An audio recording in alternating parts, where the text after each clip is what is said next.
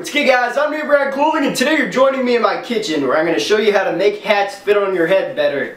Oh god, bad intro. So for those of you guys who buy hats all the time, we've all had that dope hat that we can't wait to come in the mail. It comes in the mail, we open it up out of the package, it's still looking dope, right? You put it on your head and it looks like shit. Like you look like an asshole in it. We've all had that hat. What I'm going to do with this video is I'm going to save you the step of throwing your dog through your TV screen in a fit of rage really because your hat doesn't fit and uh, I'm going to show you how to make it fit in under a day with a few simple steps. Alright, so the hat I'm working on today is this 10 deep wave hat. It says slave to the wave right here. Definitely a sick hat, but it just doesn't fit well. As you guys can see, we have like a massive box look going on here. Anyway, join me at my sink now as we make our fucked up hats fit our fucked up shaped domes. Alright? Now one thing I do want to mention before you guys start going all out on this, we are going to be soaking the hat and we are going to be wearing it. So make sure you got about three to four hours where you're not doing shit because you're going to be wearing it while it's wet. Alright, now before we get into this, here's it one more time. It doesn't look as bad on camera as it does in real life. Like in real life, these are just poking the fuck up, but it doesn't matter. Let's start. First thing you guys want to do is turn on your tap. Do it in a safe manner. I can't explain any injuries to your parents, alright? So, turn it on. Ah! That's not safe sounding. Alright, so put your hat under the water here and just start drenching the shit out of it. Now the main part you're going to want to focus on if you're wearing it forward is this part right here and the inside crown. Just make sure it's wet all the way through uh, so you can see the color change right there.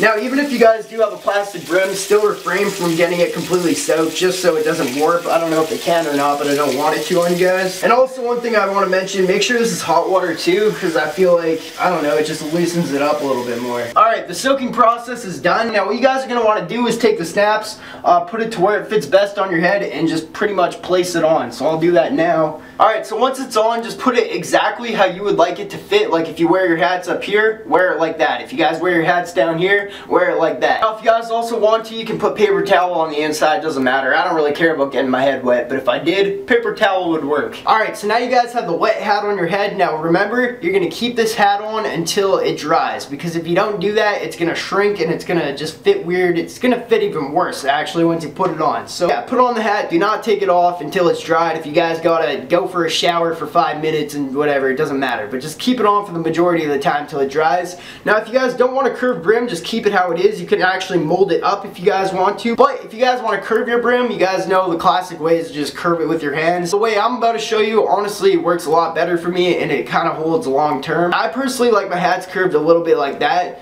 So what I have here is a thick rubber band. Now I just do thick because they don't snap, they're a little bit stronger. And I will just put it on the brim of my hat just like this and curve it. So it looks ridiculous, I know, but it works. As you guys can see, it does add a little bit of a curve to it. If that's not enough curve, what you're to do is take another rubber band and curve it even more. Alright, so now that you guys are looking like a fucking lunatic, uh, just keep this on till it dries and the curve should dry nicely and this should dry your head. Alright guys, so we're about two hours later now and this thing is still a little bit damp, but honestly, we're done I think. We got it all broken in. I had the elastic bands on it the whole time, so we do have a nice curve on it too, but uh, yeah. So here's how it looks off head now, a lot different. As you guys can see, it just totally took the shape of my head. So that's it for the video guys. I kind of just wanted to put it out for you because I've been doing this method for about three years now and I thought it's probably important to share. So uh, if you guys like this, please give this video a thumbs up. If we could get it to 500, that would be sick. And also leave a comment down below if you liked it as well. Do you guys think it looks better? Let me know down below. If it doesn't look better, don't fucking tell me that, dude.